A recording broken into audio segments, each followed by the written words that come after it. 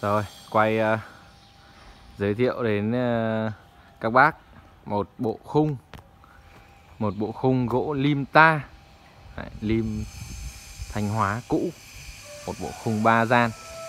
Nhà này thì phù hợp để làm một cái nhà ngang hoặc là nhà ở nho nhỏ. Bởi vì nó cũng diện tích nó cũng tương đối là nhỏ không to lắm. Đấy. À, mỗi một gian gian uh, gian là 2 mét uh, trung bình là 2 mét 3 đấy thì nó khoảng hơn 7 mét. Hơn 7 mét uh, phủ bì một chút khoảng 7 mét 2 lòng nhà 4 mét hiên 1 mét rưỡi. 5 mét rưỡi nhân với cả 7 mét 2 đấy thì nó cũng rơi vào khoảng là suýt suýt 40 mét vuông. Này mới có bộ khung chính. Đấy, bộ khung kẻ truyền. 4 vì bộ khung kẻ truyền 4 à, vì bằng gỗ lim. Tổng gồm 20 cột. Cột cái là cao 3m25 3m25 đường kính khoảng 19-20 đường kính khoảng 19-20 chất lim ta. Chất lim ta. Căn này thì à, nay đi cấy về hả cô? Nhà cô vẫn còn cấy nhiều thế à? Cấy mấy xào? Bốn xào. À, à. à nhà cháu cũng vẫn có ruộng nhưng mà không cấy. Giờ người ta bỏ hết cả. Đấy. tiền kẻ hậu kẻ. 20 cột. À, đây mới là bộ khung thôi. Thế là nhìn nó vẫn ờ, còn chưa đầy đủ. Đấy. khi mà lên hết thì mình sẽ lắp các cái ván rong vào.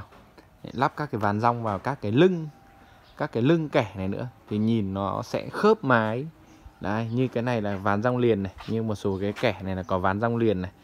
Ván rong là cái phần uh, bù trừ vào của cái lưng kẻ để nó khớp cái độ dốc của mái. Đấy. Thì nhìn nó nhìn nó sẽ uh, cân đối hơn và nhìn nó sẽ khớp mái nhìn nó ăn khớp với nhau thì nó sẽ đẹp hơn đấy, 20 cột gỗ lim.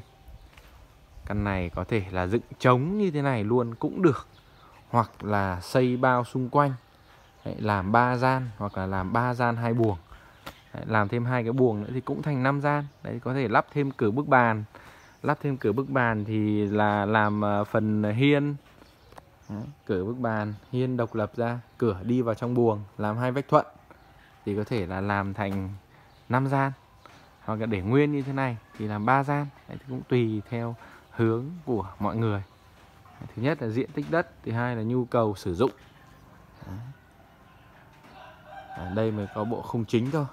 Ừ. đang quay cái clip này ở trong nghệ an. Nhà lim 4 vì. Có đầy đủ hết chân đá chân đá cũ của nó thì cũng có những cái mộc mạc riêng của nó. Thì anh em có thể xem. Đấy, liên hệ mua. Thì à, mọi người tính em nhé. Nếu mà làm 3 gian hoặc 5 gian thì mình sẽ à, tư vấn cụ thể và sẽ có những cái giá cả để mọi người cùng nắm được. Đấy. nếu như mà lắp dựng 3 gian trống chỉ có hoành dui cửa không có vách thuận. Đấy, thì nó rơi vào là ba trăm rưỡi. Hoành dui hoành là xến táo dui gỗ lim. Cửa gỗ lim ba trăm rưỡi. Đá này giữ nguyên. Còn nếu như mà làm đủ hai vách thuận thố lụa búp măng Đấy, làm kỹ đẹp và kết hợp cửa đi vào buồng này và hai phần hoành dui của hai gian buồng nữa thì nó rơi vào 500 Đấy, là làm thành 5 gian. Đấy, còn nếu mà làm 3 gian để chống thì là ba trăm rưỡi. Hoành dui đầy đủ chân đá đầy đủ cửa bức bàn ba gian. Đấy, anh em có thể cùng xem và tham khảo. Rồi cảm ơn anh em nhé. Căn nhà gỗ lim ta cũ.